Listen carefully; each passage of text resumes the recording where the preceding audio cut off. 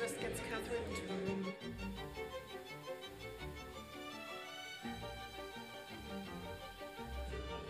But you can start. I think we, we are ready to start if our audience is ready. We can go? Okay, excellent. So, a very warm welcome to this uh, afternoon session about climate journalism that works. My name is Justyna Kurczabinska. I am the head of the European Broadcasting Union News Strategy and uh, uh, Transformation. We know it's here. Uh, we know we need to change, and we know there is no time to waste. And we have only 50 minutes to tell you about uh, climate journalism that works. So we're going to jump into it, and I'm now presenting my excellent panel. So on the right, bravely, with her special broken hand, unfortunately, but with us, Alex, Professor Alexandra Borchardt. She is an independent researcher, journalist, and uh, most importantly today, she will speak to you as the lead author of the EBU report that was published uh, in March. And in the room with us are also co-authors, Katrin uh, Dunn and Felix uh, Simon, sitting here in the first front row. Thank you for your work as well.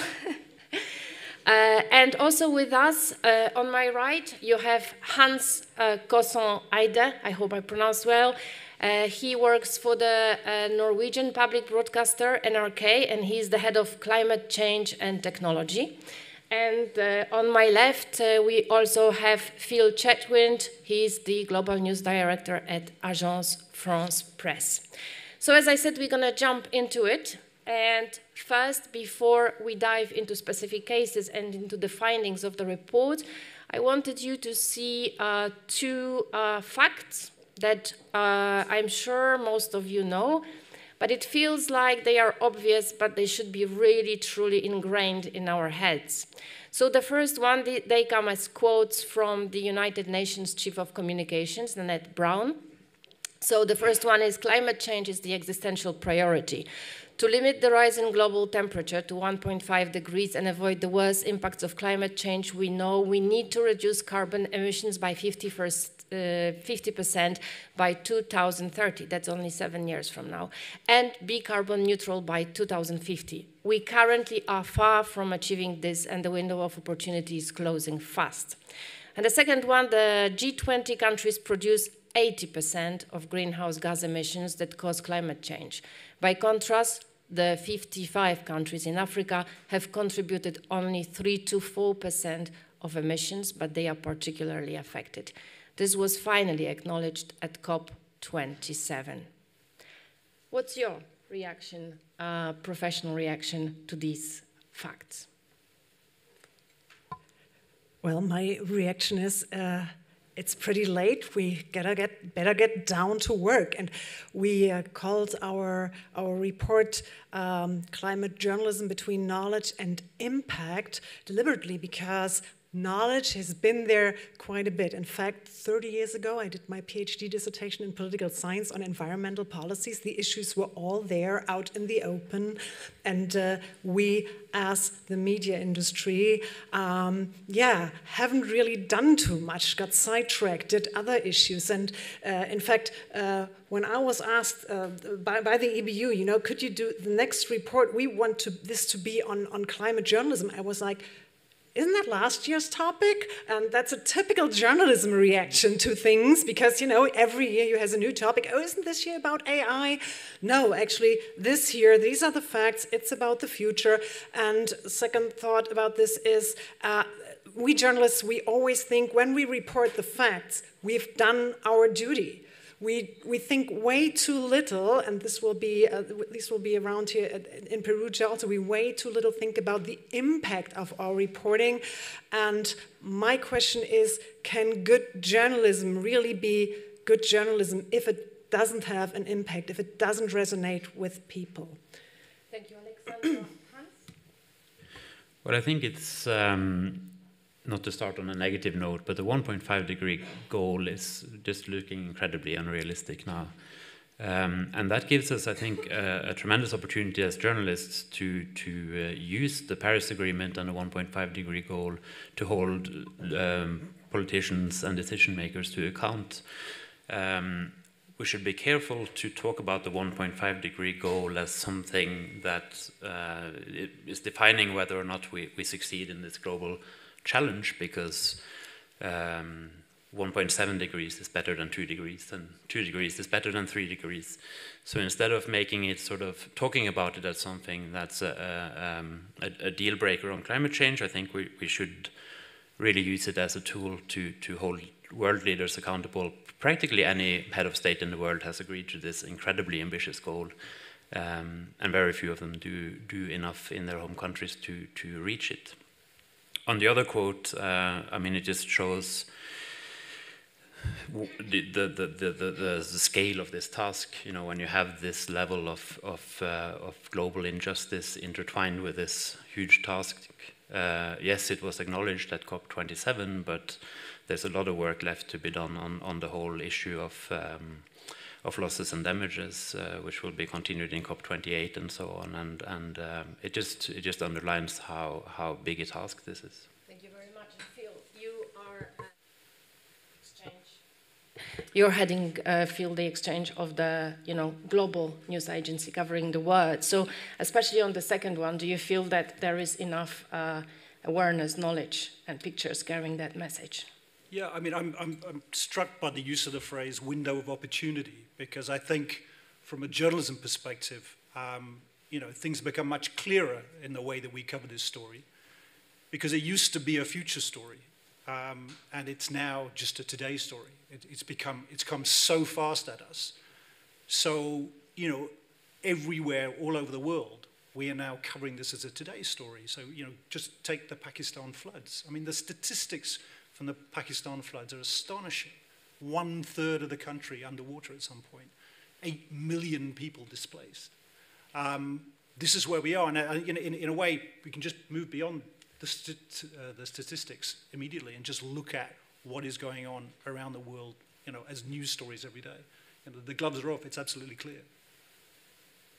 Thank you very much. So as I said, we're going to move fast now over to Alexandra to give you the key findings on the report that we've been, had, I also had a pleasure to work together with. And I just wanted to say that this report brings examples and interviews not only from public service media, this is a real compilation of, of uh, experiences and different angles. Alexandra, floor is yours.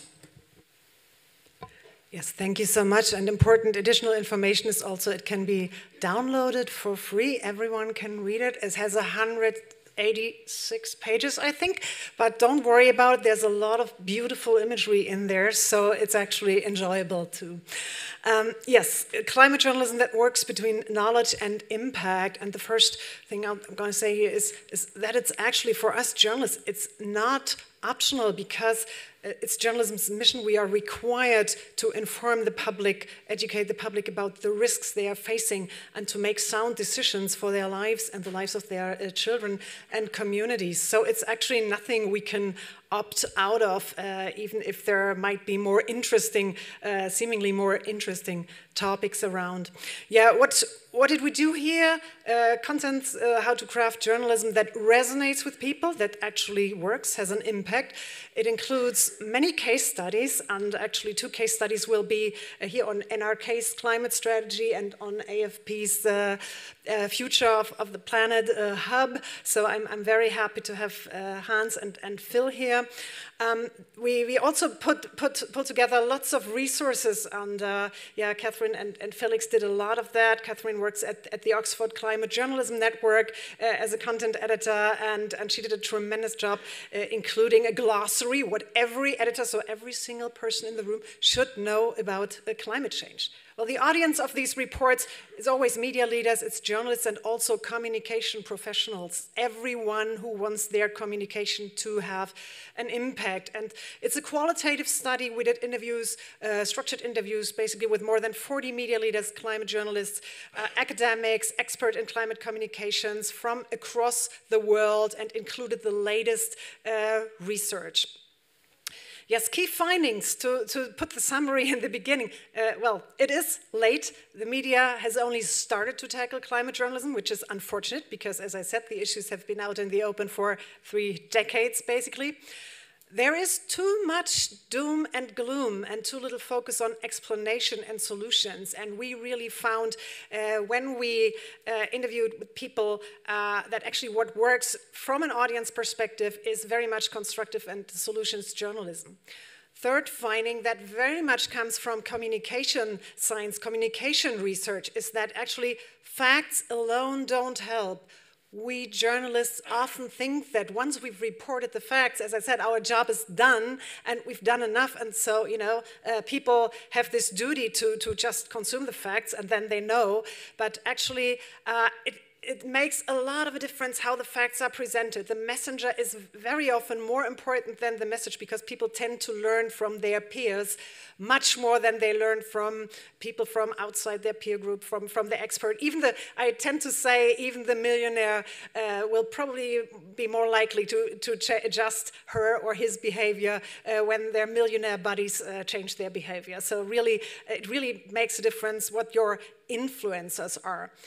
There are too many silos in newsrooms, but climate impact needs to par be part of all beats. And I, I used to run the, the business section, uh, the business news desk at, at uh, Süddeutsche Zeitung, and actually, um, I really think the, the business section, the, the, the economics uh, coverage, uh, that's probably the most important part where climate uh, knowledge, climate, uh, climate journalism needs to, to, to, to be present. And interestingly, doing research and and uh, yeah, looking around me, actually, many industries have done a much better job so far developing climate and sustainability uh, strategies. So the media is actually lagging behind, which is which is uh, something that we shouldn't really be too proud of. Basic climate literacy is a must. That's why we included uh, so many facts and, and uh, yeah, uh, sources that you could use. Uh, very important also, whether you're a big newsroom, small newsroom, uh, public service media, wherever you are based in this world, there's no one size fits all model. Uh, so everyone has to find their own climate strategy, and you'll learn from uh, two news media what these strategies could look like. Uh, and last point, the media has a hard time living up to their own standards in sustainability, which can be a problem of credibility. So if you just write, you know, great commentary uh, columns on how important uh, sustainability policies are, but you don't have one in your own uh, in your own organization, then the public uh, might get suspicious. Like, do they really mean it? You know, or uh, what are they going to do about it? And maybe that's also a subject for discussion what I really, really uh, enjoyed, uh, Catherine and I did this interview with, with Matt Winning, who's a, he's an environmental economist and also a stand-up comedian, and he decided one day to, to, to merge actually stand-up comedy uh, with his uh, profession. And uh, he said that, quote, we have to make content we don't make content for.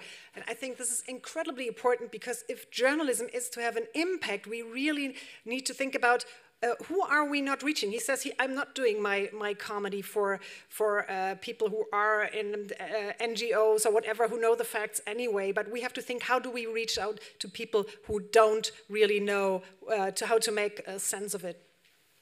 Here are five recommendations for climate journalism with impact, and that is actually based on research, uh, a lot of it done at the University of Colorado, um, at, at, their, uh, their, their uh, chair of, of, environmental policy. Um, um, uh, Max, Max Boykoff is the professor uh, I, I, got those from. Um, and that really relates to what, what Phil just said. Uh, first recommendation is stories that focus on the here and now are important. And coincidentally, there is a picture of the Pakistan uh, floods in there. Stories that, that fit into the local context, so make people feel that they are affected, that it's not somewhere uh, far off, because you can do the best journalism, the best storytelling, award-winning journalism even, that some of uh, our interviewees said, and it doesn't resonate with people because people feel this is someone else's problem, not their problem.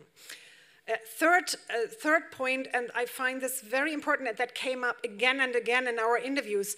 Um, do stories or try to fit in stories that emphasize the benefits of change. Just watch the language. Very often with climate journalism, we, we this is full. The stories are full of words like uh, crisis, sacrifice, loss, uh, change, uh, discomfort, whatever. And uh, but they're actually positive effects of adjusting our lifestyles to more sustainability, like better air quality, improvement in public health, maybe uh, enjoyable cities, livable cities. So don't neglect that these changes will have benefits and there's a whole school of thought on uh, how could we for example replace uh, the gross national product as a, as a measurement for growth and include some more sustainability in that but that these discussions seem to end in nowhere but we as journalists have the, the, the I think we have the obligation to, to really find different uh, economic narratives as well. Uh, stories where people find agency and, and solutions really, really important. I talked to I talked to um, the, uh, the ombudswoman uh, of, of the uh, Netherlands Public Service Media, and she said, uh, in children's TV, actually, we give children lots of agency. That, you know, it's always like, oh, you can do this, and if you do that, this happens. And then once, you know, people grow up and, and sit in front of the 8 o'clock evening news, uh, they're just, they're just uh, uh, reduced to being victims, like, you know, oh, everything is thrown at them, and uh, actually government has to, to make the changes. So actually give people agency, so give it back to them. Uh, and five, this is really uh, what you do, uh, what everyone is basically current journal, modern journalism, approach different audiences differently. Very important. And this actually, everything should be fun and super interesting. And this is Wolfgang Blau, who, who, who uh, also, also um, we, we owe credit for because he's, he was really um, doing research on climate journalism when many people were not interested uh, yet. And he says, we are looking at the biggest reconstruction story since World War II. We have to reinvent our economies. And isn't that fun? Isn't that exciting? Uh, shouldn't we really uh, do this with a lot of energy and, and diligence? Yes, and uh, we, did, we dug out some case studies. I'm not going through them because uh, yeah, Hans and, and Phil are here. Um, another one I mentioned, this is in the middle, Deutsche Welle, uh, that broadcasts all over the world, uh, developing really um, very much uh, usable uh, YouTube formats that, that resonate with young people. But we have lots of these case studies in the report. And uh, this is also Manuela Kasper-Claridge, the editor-in-chief of Deutsche Welle. And uh, this should be a positive side effect for newsrooms uh, really investing energy in climate journalism because it's a draw for talent. And uh, probably there are quite a few of you here in the room who, who know that our our profession is facing a talent uh, crisis. And she said, actually, uh, many people who apply with us say, oh, we've seen all your interesting and, and engaging climate journalism. We, I want to work here because you're doing this cool stuff. So it should be, it could be a draw for talent. Uh, what you'll find also in the report, and I'm not going to go into this in detail, seven questions to check your climate strategy, uh, if you can answer every one of these seven questions with a yes, uh, you're probably doing fine, so keep going. Uh, but uh, I guess many, many newsrooms, uh, even you know, if it might might uh, look like they have a climate strategy or their, their CEO or editor-in-chief says they have one, um, maybe there's still some work to do on these seven questions. And actually NRK, when I talked to, to, to, to, Hans Boss, Helje Solberg, uh, she was the first one who said like, oh, you want to interview me on, on climate journalism? Well, let me send you my, our climate strategy. And I was like, wow, you know, there are actually newsrooms that have a climate strategy. And last point I would like to make is that uh, if you still need uh, some convincing power, if you have to convince your editor-in-chief uh, or whoever else that actually investment in climate journalism is worth it, please tell them it's worth it. Because when you are tackling a, a, difficult subject like climate journalism really well, you will solve lots of problems the rest of your journalism also has. Uh, and that is uh, our, basically, these are our conclusions, and we just, uh, we just have seven of these conclusions, and I'm sure every one of you will find a lot more. Uh, one is that today's journalism is too much uh, stuck in the now, too much is reported, too little is explained, but we should focus a lot more, not only on the now, the today story, but also on the future. We owe this to young people, the young generation, uh, but actually climate journalism, climate reporting could be an engine to really convince young people that journalism really makes a difference and is important to them. Second is uh, climate protection needs hope and inspire action. That's why we should focus so much more, as we're already doing, on constructive and solutions journalism. And there are tons of panels here in, in Perugia on constructive and solutions journalism. Number three is uh, very much uh, tied to this, what I tend to call he said, she said journalism. Lots of, po particularly political journalism, is very much into uh, he said that, she said that, a lot about quotes and not too much about facts. But actually, the climate doesn't care about that. Climate only cares about what actually happened. So, climate journalism should focus much more on data than on quotes, and that would actually be very good for the rest of journalism, the rest of journalism, for all the journalism, uh, focusing more on on data than, than on quotes would be helpful. Yeah, I already made the, the, the, number four point. Climate journalism that works, approaches audiences with respect, different audiences differently in a language they understand. Journalism needs to become much more diverse and inclusive. And isn't that just the case, not only for climate journalism, but for all kinds of journalism? Okay, somehow the picture got, got lost here. I know it follows only in the end.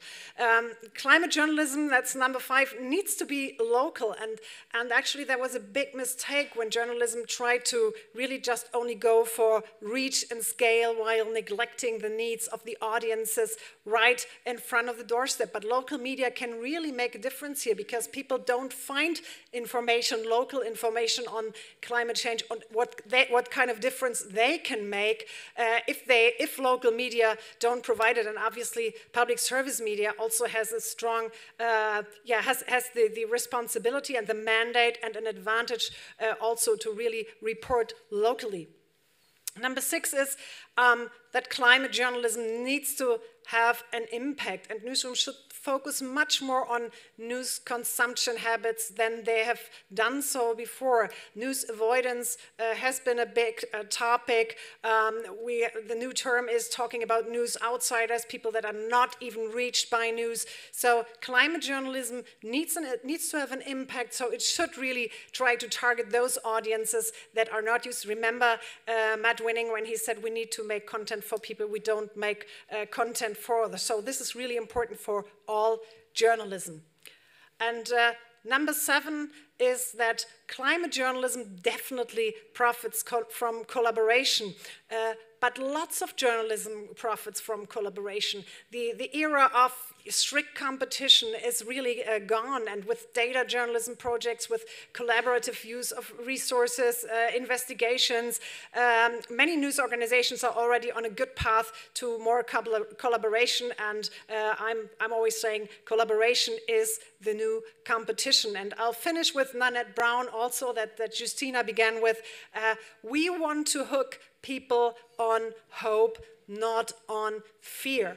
Obviously, there is a lot that needs to be investigated. Obviously, there's a lot of power hold being, being held to account, a lot of investigations, but what we really need to hook people on to really have an impact is we need to hook them on hope that they can actually have an impact. And that's actually what journalism's mission is also helping people to have an impact themselves. Here are our authors, and yeah, so much for me.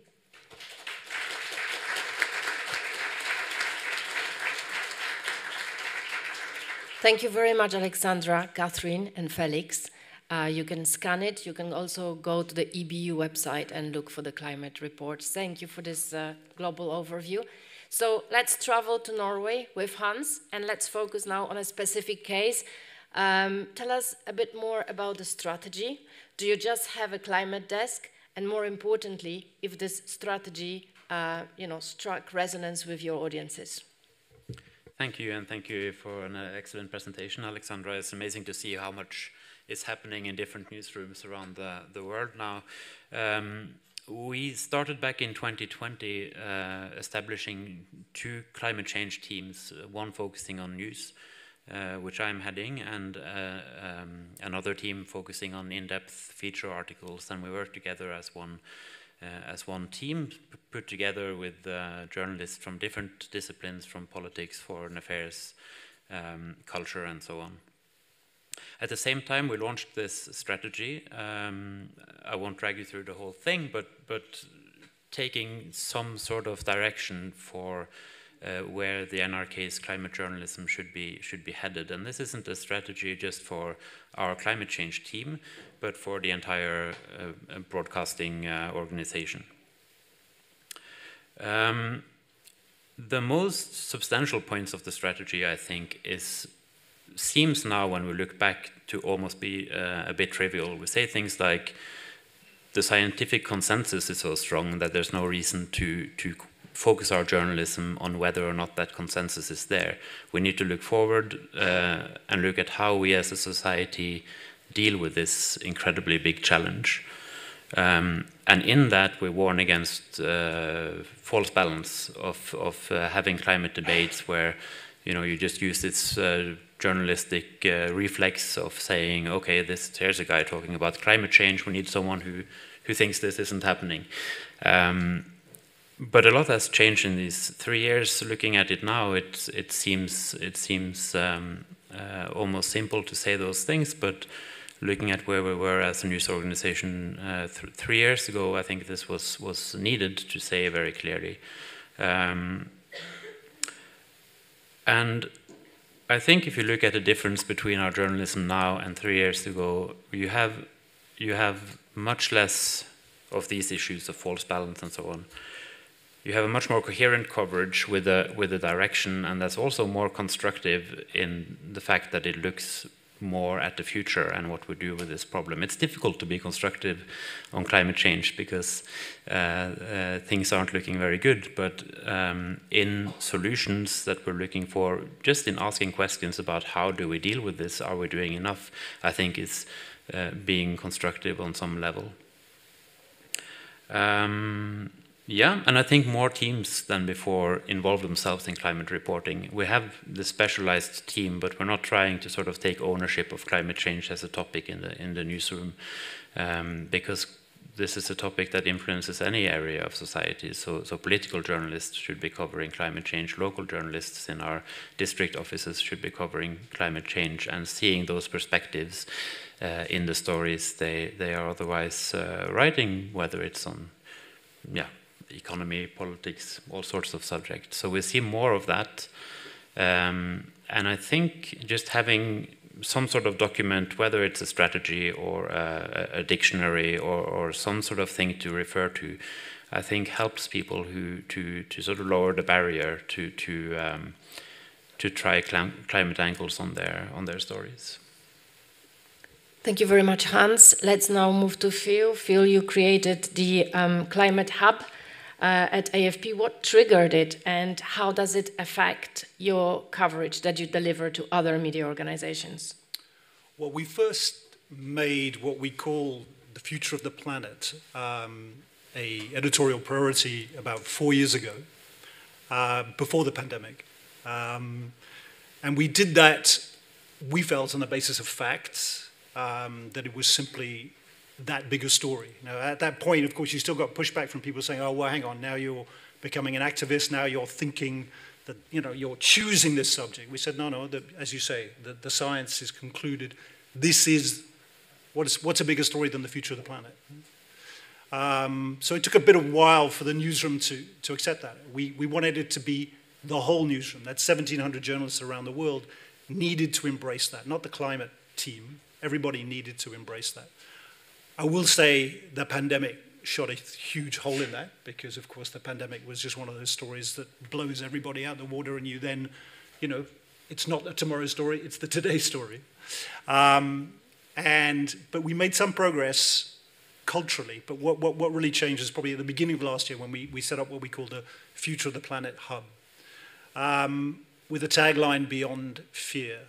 Um, now, the idea behind the future of the planet is way beyond climate. It, it, it's about diversity, it's about uh, biodiversity, climate, but in particular bringing the industries that are involved in producing greenhouse gases together, the coverage of those industries and those areas together with the climate people. So we now got the science and environment correspondents in the same hub as we, we chopped up the business team and we put the industry people there, we put the energy people there, agriculture, transport, so that they're all interacting in real time on stories.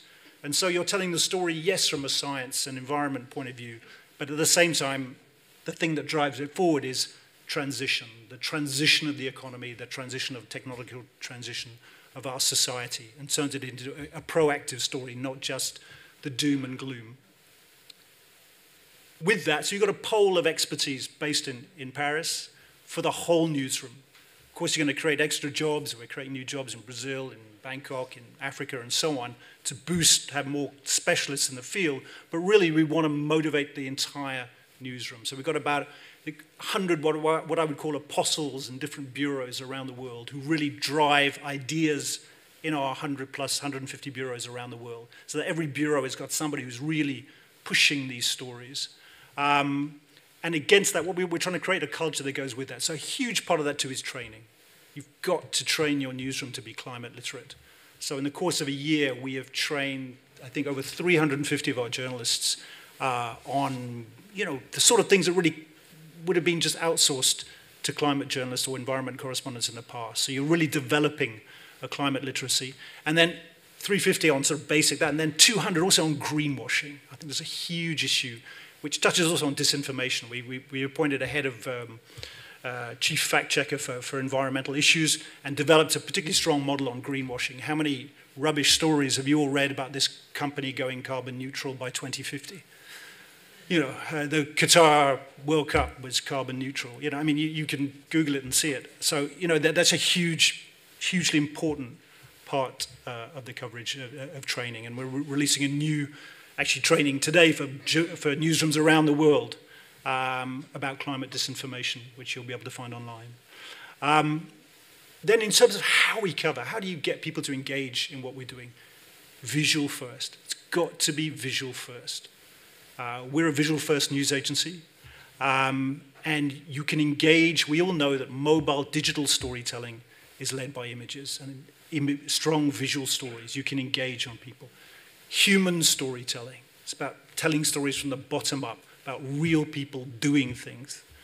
Um, we appointed a video and photo climate coordinator. So we have two people working on the images globally with our teams around the world all the time to try and think, how can we tell that story visually? Um, and, and, that's a huge driver of, of engagement. And you can, and, and part of it, because we're a news agency, part of the things that you're doing is you're creating a huge amount of really strong stock images, which were some of them in, in, in this lovely report, um, which newsrooms can use around the world, be they great drone images, be they from Greenland or Antarctica, wherever they are, really, really strong images, again, that will help drive our clients' uh, engagement. And what we really want is we want this culture, this change in all our bureaus. And there's a really good example is Baghdad. Now, Baghdad has been a place of conflict. Our team there has been covering wars and conflict and ISIS and, and, and, and everything. And when we sent a new bureau chief there about a year ago, that's what he thought his beat was. He thought he was going to be involved in conflict. And in actual fact, he's, it's, he's just realized it's, it's climate. I mean, it's, you can just see it. He's got incredible sandstorms, unbelievable temperatures. And you know what we can do is we can tell that amazing story with our network. We can go from you know we, we, we did an incredible reportage on the whole of the, uh, of the Tigris and the drying up of the Tigris, going from the, the damming up in Turkey all the way down to Basra, and you can see the effects all the way down. You can tell it with incredible images, and also by focusing on human beings, you can see what local people are doing, which often where the solutions and positive element or constructive element come in. You can see what local people are doing, not what the government is doing, of course, what local people are doing to tell that story, which, which gives the coverage you know, a, strong, a, a strong lift. Um, it's important we work on new formats, so we're working a lot with creating what we call social stories, which is a format for our clients, which they can use on things like TikTok or Instagram, or what have you. That's important. Simplistic for some, but for us, simple, effective ways of telling what can be a complicated story. Um, and you know, I just round finish it off really by what Alexandra was saying about corporate responsibility. We have to try to walk the walk. We can't just preach to people. And that's a real challenge for global news organizations and any news organizations that move people around a lot. Um, how do we, you know, find our way with that challenge? And that, that is hard. Um, we're doing a lot of work at the moment on our own carbon footprint, how to manage that. We're doing a lot of work um, on a company ethics charter, which again is demanded by the staff. People who want to work for us, especially younger people, want to know what we're doing to match the journalism that we're doing. Um, and, and that, that's really challenging for news organizations, but we've got to come up with solutions. And it was quite interesting because we looked at COP27 coverage and we're now planning COP28. And it, you know, by really looking at it and making compromises, sure, uh, we've we think that we can reduce our carbon footprints on COP28 versus COP27 by 40%. Frustrating sometimes because you, you are making some compromises, and also in newsrooms, compromises often are more expensive. It's six times more expensive to take the Eurostar to London than it is to take EasyJet. You know, so you know, those things also have a financial impact on news organizations where, you know, we know we're not all loaded with money, right? So, um, but that is incredibly important and one of the biggest challenges. And I think generally the, the media industry is behind on that issue. Thank you very much, Phil. Uh, I would like to focus a little bit, nevertheless, on the audience because this is where we want to get to our message. And uh, you touched upon this, Phil. Um, it's about uh, the trust of audiences, and it's about impartiality and being accused of activism. We heard a lot during one of our conferences, especially from uh, weather anchors, that yes, they are very often a subject even of uh, you know hate speech or being accused of activism. So how do you tackle that? How do you tackle uh, strike the balance between impartiality and being accused of um, activism? How your journalists deal with it, Hans? Well, I think one of the main reasons to approach that is just being very rigorous in, in, in the journalism and basic, you know, facts-driven journalism that that, uh, like Alexandra said as well, to, to, to focus on the facts and numbers. Um, there is this accusation of activism. It comes from a very particular place that we all recognize uh, that's, that's politically driven, and I don't think we should pay too much attention to, to those accusations as long as we basically do the same thing as we do on any other topic look at science, look at what's happening, and report on it. Um, uh, you know, accepting, accepting the science and looking at how we as a society deal with that, that's not activism. Um, I think another key thing for us has been before we sort of reorganized and, and, and looked at this more as um, with a strategic look. We, we, our climate reporting was very much based on, on individual initiatives um, that were well intended, but, uh, but uh, you know, if you're a single reporter coming to work in the evening and, and you like to cover climate change and there's a report on climate change, you know, you're likely to be covering that. And what you end up doing as an organization over time is repeating a lot of the same messages over and over again, which the audience obviously, uh, and for good reasons, uh, doesn't want, but also that gives a lot of power to the people writing these reports. And you know, one thing is the IPCC, the sort of gold standard of, of climate science, but there's a lot of reports produced by uh, NGOs and interest organizations that basically conclude uh, whatever that NGO or interest organization's agenda is, and, and you know that's not really uh, news. So, so, so turning away from that, I think, as well helps in, in, in building trust in our reporting and um, and is um, more impartial. Thank you very much. Now I would like to ask Alexandra. You uh, in the report there is quite a lot of material about uh, human psychology. So um, it's all very well, of course, reporting facts, but we know, you know, that there is uh, we we're fighting news avoidance. This is not uh, the subject. We don't want to be said any or saddened anymore. So how these findings, what they tell you in terms of how to craft the narrative to get the engagement of the audiences.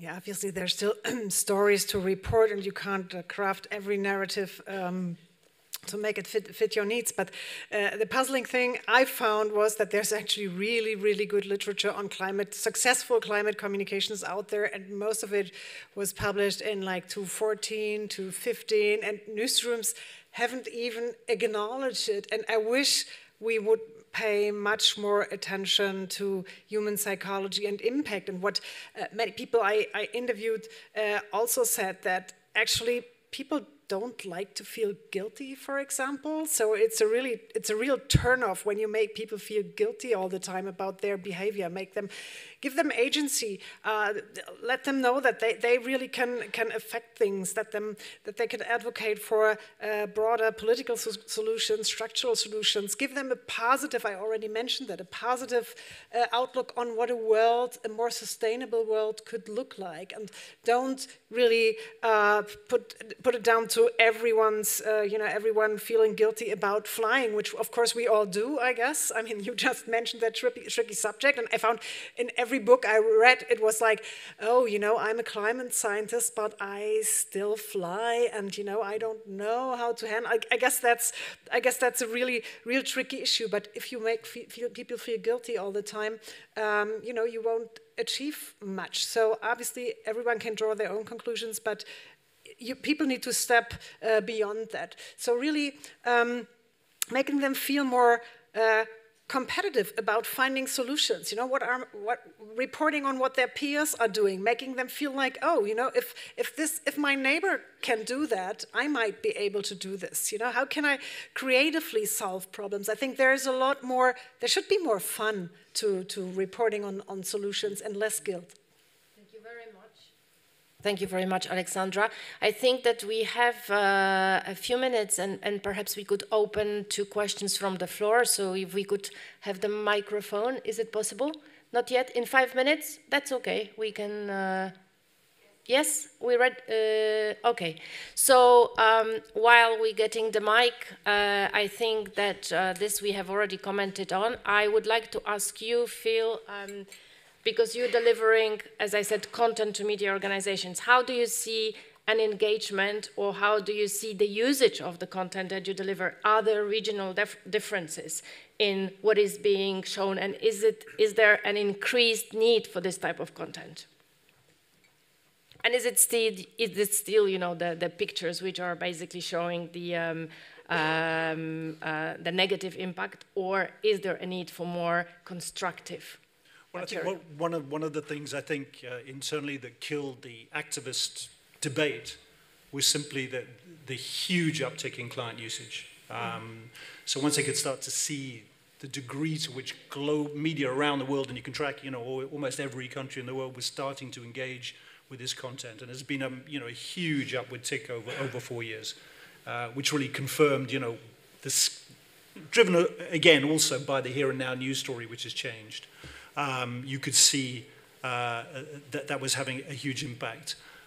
It is very much driven by images, and, and I think this is, this is interesting um, because when you have when your most viewed images across your entire global client base of thousands of media are air pollution in Delhi, I think five, six years ago we would have said, well, that's strange. That's a very localized story. Um, and now we know that basically every major city in the world has these issues of air pollution. And therefore, the, the, the, story or the images about air pollution in Delhi are ringing a bell in Santiago, in Rio, in New York, Paris, wherever. Um, and so, you know, th that is really driving, from our point of view, engagement. It really comes from that globalization of the story, and, and, and images really, really carry that. Thank you very much. Thank you very much, Phil. I just wanted to tell you that we will be continuing this topic also at the conference that we will be holding in Dublin. And today, the News Exchange published the blog uh, from Alexandra and also about the report. And uh, so you have also information about this. But if we are ready now with the microphone, any questions from the audience? Uh, there is a person who raised her hand first in the first uh, front row, please. Hello, thank you. I'm uh, Carolina, and I'm thinking about how uh, news have changed and how 10 years ago maybe we had a knowledge gap. Now everyone who is in power to do something about climate change, they know very well what they need to do.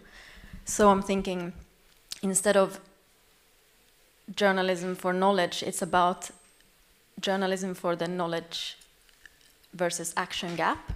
So what are governments not doing?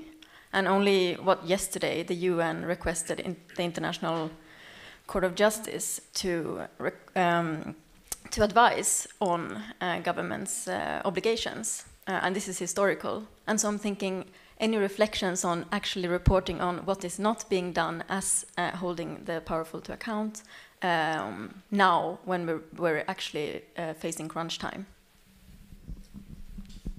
Um, do you want to take? You want to take this, Alexandra? Oh, sure. Um, obviously, it is important to report on what's not being done. I think this is what news organizations are good at and what they are doing. I mean, Hans uh, also told you it's, it's almost uh, impossible to, to achieve that, that uh, 1.5 degree goal. Um, but we shouldn't just wait for, for governments. And the fact is that there are solutions being developed all over the world. Nanette Braun from the UN also said that practically every day. And actually, businesses, uh, even small businesses, are very much ahead of what governments have been doing all over the world. So, so newsrooms shouldn't stop at just reporting what governments are not doing, but actually what other actors are actually doing, which you know doesn't. Obviously, journalists have to report about gaps, about uh, wrongdoing, about everything in that respect. But maybe you would like to, or Hans, from your experience.